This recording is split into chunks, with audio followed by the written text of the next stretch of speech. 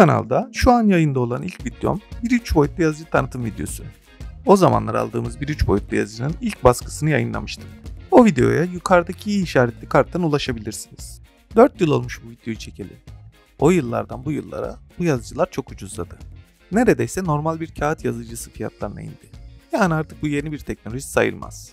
Peki nedir bu 3 boyutlu yazıcılar? Teknolojisinin arkasındaki kavramlar nedir? Nasıl çalışırlar? Öncelikle 3 boyutlu yazıcıların türleri var. Son yıllarda SLA isimli reçine baskı yapabilen yazıcılar da yaygınlaşsa hala 3 boyutlu yazıcı deyince akla gelen ve en yaygın olan tür FTM isimli tür. Ben bu videoda size bu türden bahsedeceğim. FTM türündeki yazıcılar bir termoplastik malzemeyi sıcak bir başlık yardımıyla eritip katman katman bir baskı tablasının üzerine aktarak bir model üretirler. Şöyle açıklayalım. Bir taraftan belli bir sıcaklıkta eritebildiğiniz bir plastiği yazıcınıza veriyorsunuz. O da bir kanalın içerisinden sıcak bir başlığa bu plastiği yönlendiriyor. Başlığın yerini değiştirerek istenilen noktaya o plastiği bırakıyor. O bırakılan noktalar birleştirilerek 3 boyutlu bir nesne haline dönüşüyor. Detaylara geçelim. 3 boyutlu yazıcının çalışma yaşamı önce bilgisayarda başlıyor. Bilgisayarda bir 3D modelleme programıyla bir model oluşturuluyor. Ben ücretsiz ve kolay olması nedeniyle SketchUp programını tercih ediyorum. Yaratmak istediğimiz nesneyi bilgisayarda tasarlayınca bunu 3 boyutlu yazıcıların anladığı format olan STL olarak kaydediyoruz.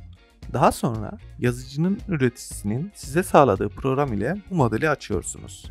Son ayarlamaları yapıp yazıcıya işi havale ediyorsunuz. Yazıcı dosyaları basitçe şöyle okuyor. Diyelim ki yazıcının 20 santim çarpı 20 santim çarpı 20 santim şeklinde bir yazım alanı var. Yazıcı sizin ayarlarınıza göre dikey bir katman sayısı belirliyor. Diyelim ki her yarım santim için bir katman. Yani toplamda 40 katman. Bundan sonra başlıyor her katman için doldurulması gereken noktaları belirlemeye. Kısımda işler biraz CNC makinelerine benziyor. Yani birinci katmanda X ve Y koordinatlarında dolu noktaları ve boş noktaları tespit ediyor. Sonra kendisine bu koordinatlar arasında bir yol çiziyor. Bu haritaya göre dolu koordinatlara ısıttığı plastiği eriterek döküyor. Yani sıcak kafanın hemen yakınında bulunan bir motor plastik hammaddeyi sıcak deliğin içine doğru ittirerek eriyip uçtan çıkmasını sağlıyor. Baskı yapılan her koordinat için bu işlem yapılıyor. Eğer koordinat boş ise motor durarak plastik malzemeyi ittirmeyi kesiyor. Bir katman tamamlanınca hemen baskı tablası yarım santim veya katman büyüklüğü ne olarak belirlendiyse o kadar aşağı inerek yazıcının başlığıyla arasına bir miktar daha mesafe koyuyor.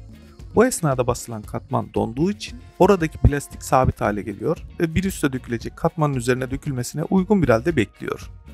Tabi ben burada örnekleri santimetreler üzerinden verdim. Ama 3 boyutlu yazıcılar genelde milimetrik ölçülerde çalışıyorlar. Bu da örneğin çay bardağı büyüklüğünde bir malzemenin baskısının 4-5 saat sürmesi anlamına geliyor. Umarım konu hakkında sizi bilgilendirebilmişimdir. Vakit ayırdığınız için teşekkürler.